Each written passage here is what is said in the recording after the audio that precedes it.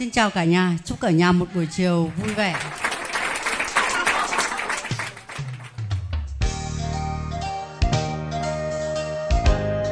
Ai em biết ờ, khiêu vũ thì khiêu vũ luôn đi.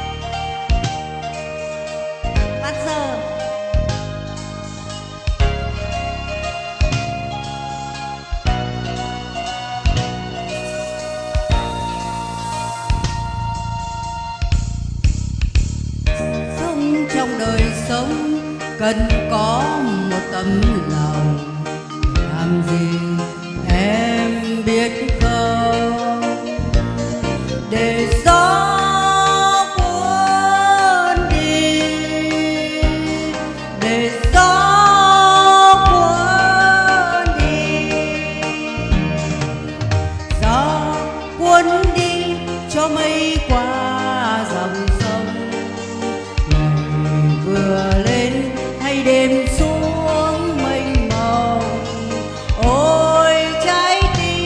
đang bay theo thời gian, làm chiếc bóng đi giao lời dối gian nhưng khi chiều tới, cần có một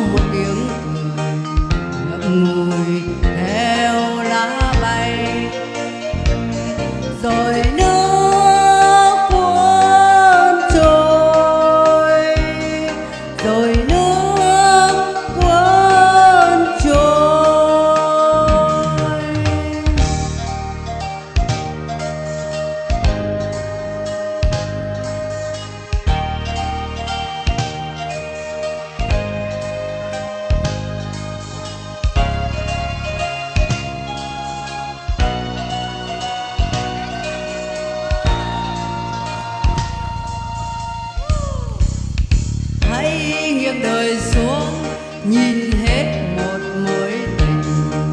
Chỉ lặng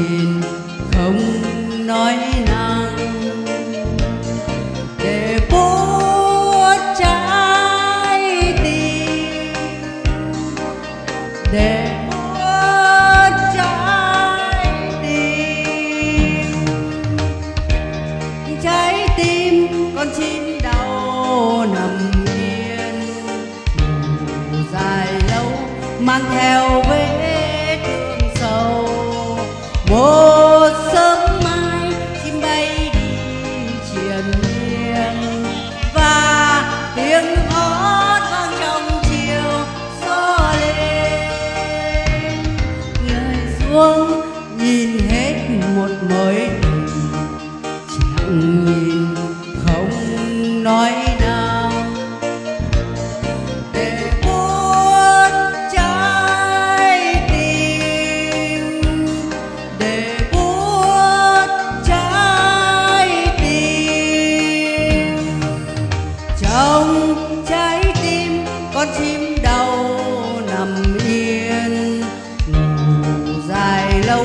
mang theo.